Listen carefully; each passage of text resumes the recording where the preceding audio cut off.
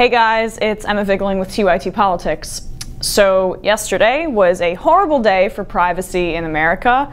191 Republicans and 65 Democrats voted yes on a bill to extend warrantless NSA surveillance for six more years, allowing the bill to pass the House easily.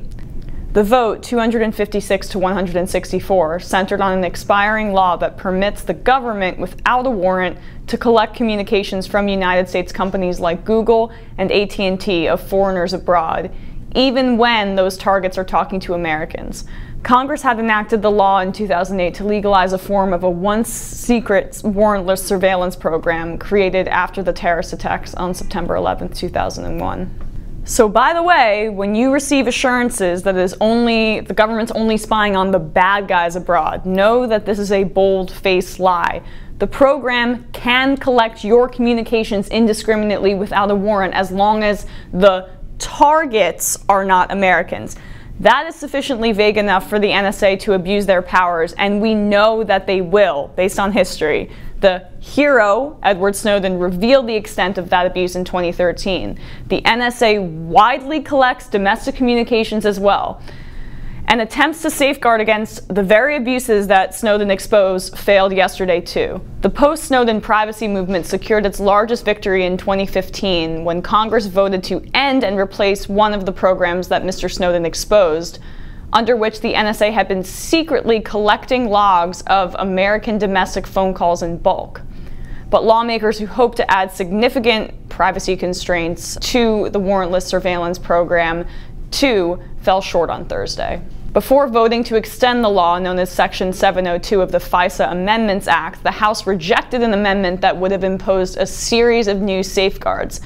That proposal included the requirement that officials obtain warrants in most cases before hunting for and reading emails and other messages of Americans that were swept up under the surveillance.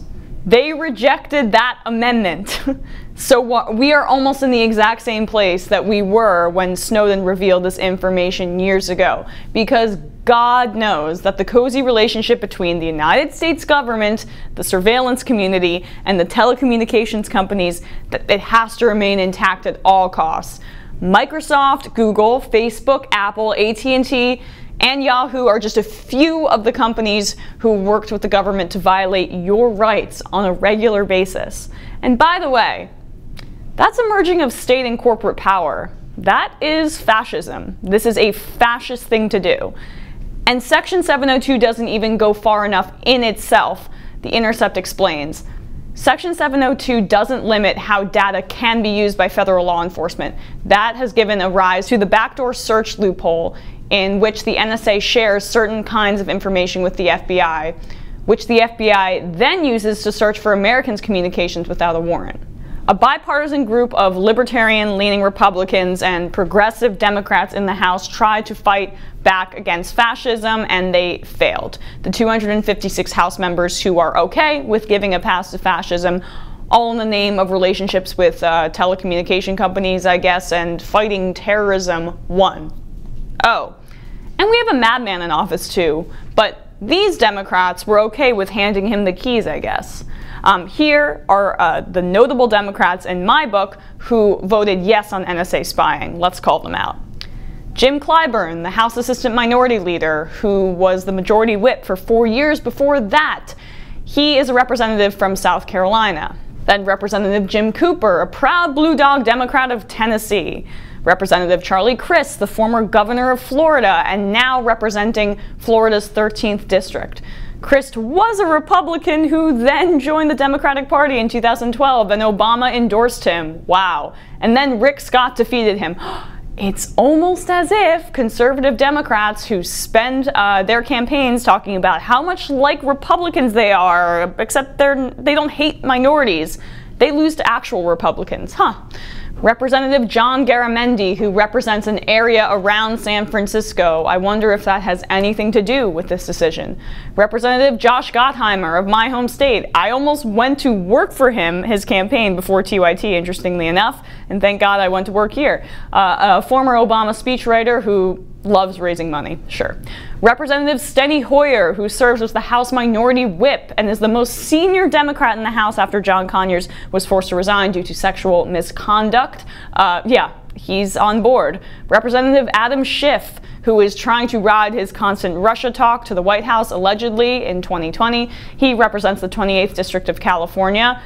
No surprise here, Representative Debbie Wasserman Schultz. I think everybody knows this name, right? Uh, no explanation needed, pretty much. And last but certainly not least, the leader of the Democratic Party in the House, Nancy Pelosi. Yes, the leader of the Democratic Party is a proponent of extending NSA spying without any amendments or changes. Nancy Pelosi, what the fuck are you good for as the Democratic Party leader when you just can't stand up for Americans' basic Fourth Amendment rights? It's the fourth one, that's pretty important. And I get it, you're in California, so those tech companies are really all over you and you need to please them. But do you remember that you actually have a constituency and you're not just in it for the cash? What she would probably say is that yes, NSA spying is an effort to protect her constituency, to protect the American people from terror, right? Well, in 2013, a White House panel member on NSA surveillance admitted that the NSA program, the PRISM program, had stopped no terrorist attacks. We found none, the member said. This isn't about terrorism, and they know it. This is about maintaining government power and control at all costs and by any means necessary. Truly. Even when they trample all over the Constitution. They don't care. This is when the Democratic Party disgusts me most. you know, I don't want to hear another thing from either party about the Constitution unless you are one of the voices, the libertarian or the progressive voices, speaking up against this violating and revolting program. It is really disgusting that this is the point that we've gotten after 9 11, where all of our rights can be trampled on. Our Fourth Amendment rights, one that should be extremely important. The Founding Fathers put it in there for a reason, just because uh, we've kind of gone mad in terms of terrorism. And we're othering people and fear mongering and going so far to protect this, this country from terrorism, even when the programs are ineffective.